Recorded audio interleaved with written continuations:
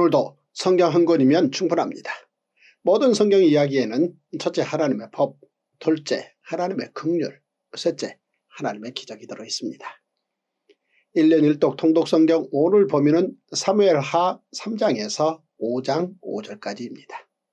오늘 본문은 다윗이 유다지파의 왕으로 7년 6개월 동안 국민 통합을 위해 기다린 것과 다윗의 군대 장관인 요압이 북쪽 11지파의 실권자인 아브네를 죽인 위기를 넘기고 마침내 12지파로부터 세 번째 기름 부음을 받으며 이스라엘의 왕이 되는 이야기입니다. 유다 지파의 왕이었던 다윗은 11지파의 마음을 되돌려 이스라엘이 모두 한마음이 되어 제사장 나라 거룩한 시민의 사명을 감당하는 나라가 되게 합니다. 자 이제 오늘의 말씀 사무엘하 3장에서 5장 5절까지 먼저 읽겠습니다. 제102일 사무엘하 3장 사울의 집과 다윗의 집 사이에 전쟁이 오래매 다윗은 점점 강하여 가고 사울의 집은 점점 약하여 가니라. 다윗이 헤브론에서 아들들을 낳았으되 맏아들은 암논이라. 이스라엘 여인 아히노암의 소생이요. 둘째는 길르압이라. 갈멜 사람 나발의 아내였던 아비가일의 소생이요. 셋째는 압살롬이라. 구술왕 달메의 딸 마아가의 아들이요. 넷째는 아도니아라. 학기세 아들이요. 다섯째는 스바다랴. 아비달의 아들이요 여섯째는 이드르암이라 다윗의 아내 에글라의 소생이니 이들은 다윗이 헤브론에서 낳은 자들이더라. 사울의 집과 다윗의 집 사이에 전쟁이 있는 동안에 아브넬이 사울의 집에서 점점 권세를 잡으니라. 사울에게 첩이 있었으니 이름은 리스바이요 아야의 딸이더라. 이스보셋이 아브넬에게 이르되 내가 어찌하여 내 아버지의 첩과 통관하였느냐 하니 아브넬이 이스보셋의 말을 매우 분하게 여겨 이르되 내가 유다의 개머리냐 내가 오늘 당신의 아버지 사울의 집과 그의 형제와 그의 친구에게 은혜를 베풀어 당신을 다윗의 손에 내주지 아니하였거늘 당신이 오늘 이 여인에게 관한 허물을 내게 돌리는도다. 여호와께서 다윗에게 맹세하신 대로 내가 이루게 하지 아니하면 하나님이 아브넬에게 벌 위에 벌을 내리심이 마땅하니라. 그 맹세는 곧 이 나라를 사울의 집에서 다윗에게 옮겨서 그의 왕위를 단에서 부엘세바까지 이스라엘과 유다에 세우리라 하신 것이니라 하매 이스보셋이 아브넬을 두려워하여 감히 한마디도 대답하지 하지 못하니라. 아브넬이 자기를 대신하여 전령들을 다윗에게 보내어 이르되 이 땅이 누구의 것이니까 또 이르되 당신은 나와 더불어 언약을 맺사이다. 내 손이 당신을 도와 온 이스라엘이 당신에게 돌아가게 하리이다 하니 다윗이 이르되 좋다. 내가 너와 언약을 맺거니와 내가 내게 한 가지 일을 요구하노니 나를 보러 올 때에 우선 사울의 딸 미가를 데리고 오라. 그리하지 아니하면 내 얼굴을 보지 못하리라 하고 다윗이 사울의 아들 이스보셋에게 전령들을 보내 이르되 내처 미가를 내게로 돌리라. 그는 내가 전에 블레셋 사람의 포피 100개로 나와 정원한 자니라 하니 이스보셋이 사람을 보내 그의 남편 라이스의 아들 발디엘에게서 그를 빼앗아 오매 그의 남편이 그와 함께 오되 울며 바울임까지 따라왔더니 아브넬이 그에게 돌아가라 하며 돌아가니라. 아브넬이 이스라엘 장로들에게 말하여 이르되 너희가 여러 번 다윗을 너희의 임금으로 세우기를 구하였으니 이제 그대로 하라.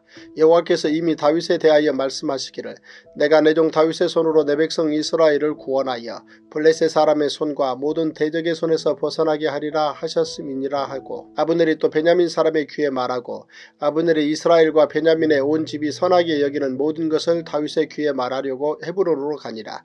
아브넬이 부하 20명과 더불어 헤브론에 이르러 다윗 에게 나아가니 다윗이 아브넬과 그와 함께한 사람을 위하여 잔치를 배설하였더라. 아브넬이 다윗에게 말하되 내가 일어나 가서 온 이스라엘 무리를 내주 왕의 앞에 모아 더불어 언약을 맺게 하고 마음에 원하시는 대로 모든 것을 다스리시게 하리이다 하니 이에 다윗이 아브넬을 보내며 그가 평안히 가니라. 다윗의 신복들과 요압이 적군을 치고 크게 노력한 물건을 가지고 돌아오니 아브넬은 이미 보냄을 받아 평안히 갔고 다윗과 함께 헤브론에 있지 아니한 때라. 요압 민 요압과 함께한 모든 군사가 돌아오매 어떤 사람이 요압에게 말하여 이르되 내레 아들 아브넬이 왕에게 왔더니 왕이 보내매 그가 평안히 갔나이다 하니 요압이 왕에게 나아가 이르되 어찌하심이니까? 아브넬이 왕에게 나와왔거를 어찌하여 그를 보내 잘 가게 하셨나이까?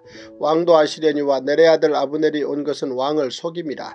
그가 왕이 출입하는 것을 알고 왕이 하시는 모든 것을 알려 함이니이다 하고 이에 요압이 다윗에게서 나와 전령들을 보내 아브넬을 쫓아가게 하였더니 시라 우물가에서 그를 데리고 돌아왔으나 다윗은 알지 못하였더라. 아브넬이 헤브론으로 돌아오며 요압이 더불어 조용히 말하려는 듯이 그를 데리고 성문 안으로 들어가 거기서 배를 찔러 죽이니 이는 자기의 동생 아사엘의 피로 말미암음이더라. 그 후에 다윗이 듣고 이르되 내레 아들 아브넬의 피에 대하여 나와 내 나라는 여호와 앞에 영원히 무죄하니 그 죄가 요압의 머리와 그의 아버지의 온 집으로 돌아갈지어다. 또 요압의 집에서 백탁병자나 나병 환자나 지팡이를 의지 하는 자나 칼에 죽는 자나 양식이 떨어진 자가 끊어지지 아니할지로다 하니라. 요압과 그의 동생 아비세가 아브넬을 죽인 것은 그가 기부온 전쟁에서 자기 동생 아사엘을 죽인 까닭이었더라. 다윗이 요압과 및 자기와 함께 있는 모든 백성에게 이르되 너희는 옷을 찢고 굵은 배를 띠고 아브넬 앞에서 애도하라 하니라. 다윗 왕이 상여를 따라가 아브넬을 헤브론에 장사하고 아브넬의 무덤에서 왕이 소리를 높여 울고 백성도 다 우니라. 왕이 아브넬을 위하여 애가를 지어 이르되 아브넬의 죽음이 어찌하여 미련한 자의 죽음 같은고 내 손이 결박되지 아니하였고 내 발이 착고에 채이지 아니하였거늘 불의한 자식의 앞에 엎드려짐같이 내가 엎드러졌도다 하매 온 백성이 다시 그를 슬퍼하여 우니라. 석양의 뭇 백성이 나와 다윗에게 음식을 권하니 다윗이 맹세하여 이르되 만일 내가 해지기 전에 떡이나 다른 모든 것을 맛보면 하나님이 내게 벌 위에 벌을 내리심이 마땅하니라 하매 온 백성이 보고 기뻐하며 왕이 무슨 일을 하든지 무리가 다 기뻐하므로 이 날에야 온 백성과 온 이스라엘이 내레 아들 아브네를 죽인 것이 왕이 한 것이 아닌 줄을 아니라 왕이 그의 신복에게 이르되 오늘 이스라엘의 지도자여 큰 인물이 죽은 것을 알지 못하느냐 내가 기름 부음을 받은 왕이 되었으나 오늘 약하여서 수류아의 아들인 이 사람들을 제하기가 너무 어려우니 여호와는 악행한 자에게 그 악한 대로 갚으실지로다 하니라. 사무엘하 4장 사울의 아들 이스보셋은 아브넬이 헤브론에서 죽었담을 듣고 손에 맥이 풀렸고 온 이스라엘이 논란이라. 사울의 아들 이스보셋에게 군 주의관 두 사람이 있으니 한 사람의 이름은 바하나요 한 사람의 이름은 레갑이라. 베냐민 족속 부에롯 사람 림몬의 아들들이더라. 부에롯도 베냐민 지파에 속하였으니 일찍이 부에롯 사람들이 기따임으로 도망하여 오늘까지 거기에 우거함이더라. 사울의 아들 요나단에게 다리 저는 아들 하나가 있었으니 이름은 무비보셋이라. 전에 사울과 요나단이 죽은 소식이 이스라엘에서 올 때에 그의 나이가 다섯 살이었는데 그 유모가 안고 도망할 때 급히 도망하다가 아이가 떨어져 절게 되었더라. 부에로 사람 림몬의 아들 레갑과 바하나가 길을 떠나 볕이 쬐 때쯤에 이스보셋의 집에 이르니 마침 그가 침상에서 낮잠을 자는지라 레갑과 그의 형제 바하나가 밀을 가지러 온 채하고 집 가운데로 들어가서 그의 배를 찌르고 도망하였더라. 그들이 집에 들어가니 이스보셋이 침실에서 침상 위에 누워있는지라 그를 쳐 죽이고 목을 베어 그의 머리를 가지고 밤새도록 아라바 길로 가 헤브론에 이르러 다윗 왕에게 이스보셋의 머리를 들이며 아뢰되 왕의 생명을 헤아려 하던 원수 사울의 아들 이스보셋의 머리가 여기 있나이다.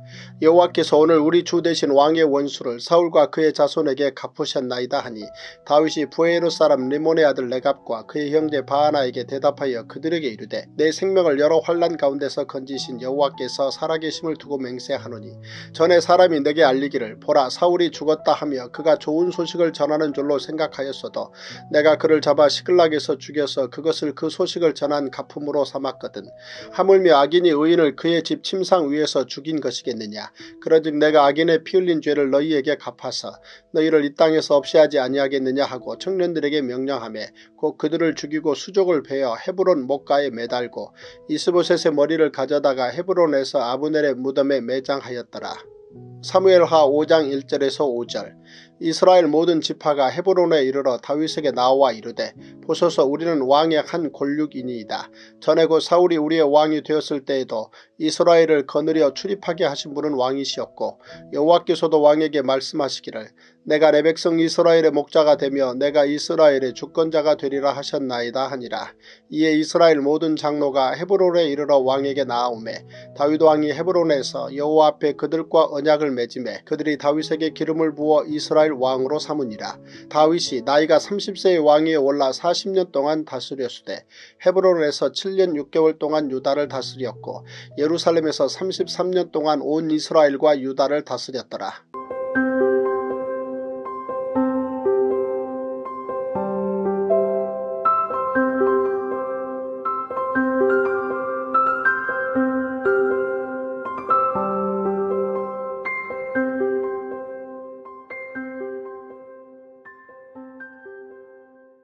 오늘의 말씀 사무엘 하 3장에서 5장 5절까지에 등장하는 성경 지리 즉 공간은 헤브론과 마하나임입니다. 그리고 등장인물은 다윗, 아브넬, 이스보셋, 요압, 무비보셋, 레갑, 바나, 이스라엘 모든 장로입니다. 오늘은 열한 지파가 북쪽으로 올라가 다윗과 대립하며 수도로 삼았던 곳인 마하나임을 살펴보며 7년 6개월 만에 이스라엘 민족 통합을 이루고 제사장 나라로 우뚝 서게 한 다윗 이야기를 계속해서 살펴보겠습니다. 마하나임은 사울과 사울의 세 아들이 죽은 후 사울의 군대장관 내레 아들 아브넬이 열한 지파와 사울의 남은 아들 이스보셋을 데리고 가서 7년 6개월을 버티며 다윗과 맞선 곳입니다. 마하나임은 두 진영 하나님의 군대들이라는 뜻입니다. 마하나임의 위치는 정확히 알 수 없으나 야곱이 하나님의 사자를 만난 후 붙인 지명으로 알려져 있습니다. 창세기 32장 2절입니다. 야곱이 그들을 볼 때에 이르기를 이는 하나님의 군대라 하고 그 땅 이름을 마하나임이라 하였더라. 마하나임은 처음에 갓 지파에게 분배되었다가 이후 레위 지파 무라리 자손에게 분배된 땅입니다. 아브넬이 마하나임을 선택한 이유는 마하나임이 요단 동편에 있어 블레셋의 위협이 적고 문하세 반지파와 갓지파가 사는 지역으로 유다지파의 영향권에서 멀다고 생각했던 것 같습니다. 사무엘하 2장 8절에서 9절입니다. 사울의 군사령관 네레 아들 아브넬이 이미 사울의 아들 이스보셋을 데리고 마하나임으로 건너가 길라앗과 아술과 이스르엘과 에브라임과 베냐민과 온 이스라엘의 왕으로 삼았더라. 열한 지파대 한 지파로 나뉜 7년 6개월 동안 다윗 가문은 점점 더 번성하고 사울 가문은 몰락해 갔습니다. 사울의 가문이 몰락해 간 이유는 아브넬과 이스보셋의 내분 때문이었습니다. 처음에는 아브넬이 북쪽 이스라엘의 실권을 장악했습니다.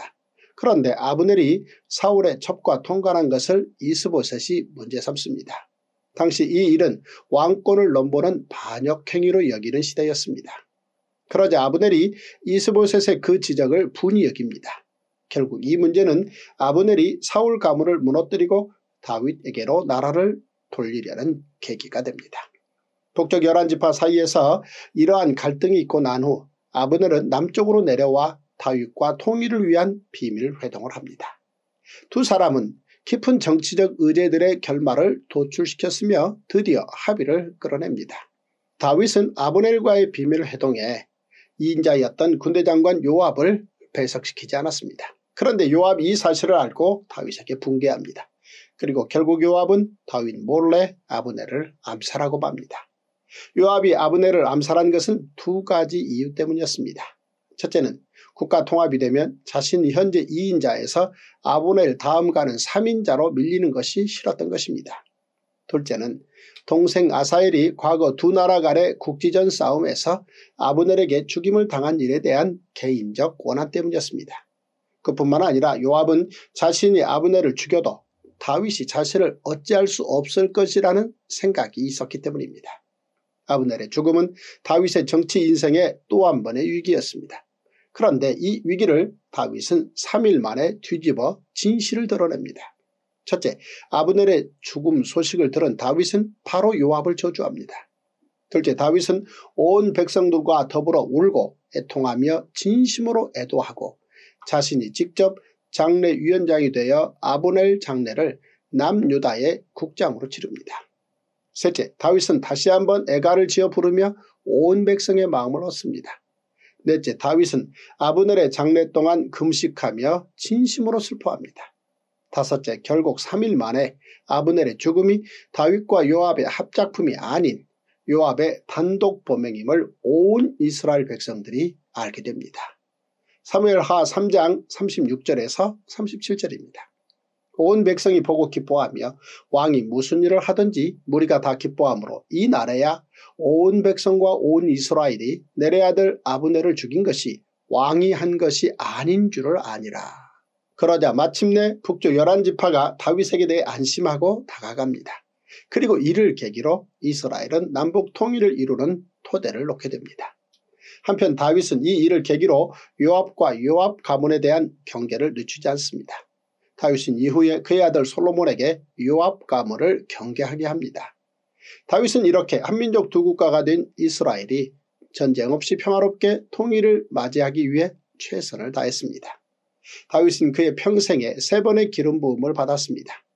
첫 번째 다윗의 기름 부음은 청소년 때 사무엘을 통해서였습니다. 두 번째 다윗의 기름 부음은 30세의 유다 지파로부터였습니다. 그리고 세 번째 기름 부음은 12지파 모두로부터였습니다. 성경에서 기름 부음이란 하나님의 특별한 소유로 구별하다 하나님으로부터의 신적 권위를 부여받다라는 뜻입니다. 그러므로 기름 부음 받은 자는 메시아를 의미합니다. 기름 부음을 받는 대상은 제사장, 선지자, 왕 그리고 거룩한 의식에 사용되는 성물들입니다. 이때 사용되는 거룩한 기름이 관유입니다. 다윗은 이렇게 세 번에 걸쳐 기름 부음을 받으며 이스라엘의 두 번째 왕이 됩니다. 3일하 5장 3절입니다. 이에 이스라엘 모든 장로가 헤브론에 이르러 왕에게 나오매 다윗 왕이 헤브론에서 여호와 앞에 그들과 언약을 맺음에 그들이 다윗에게 기름을 부어 이스라엘 왕으로 삼으니라. 다윗은 무력으로 절대 권력을 장악하고 강제적으로 백성들을 복종하게 만든 것이 아니라 백성들로 하여금 그를 왕으로 모시겠다는 고백을 드리며 왕위에 앉은 것입니다. 다윗은 제사장 나라 권력의 공공성으로 열두 지파 모두의 민심을 얻어 민족 통일을 이룬 것입니다. 오늘도 성경을 열면 기적이 열립니다. 시대가 어려울수록 근본인 성경에 기초해야 합니다. 소중하신 한 분과 오늘의 이 이야기를 꼭 공유해 주시고 구독과 좋아요 눌러주십시오. 성경 한 권이면 충분합니다. Wow!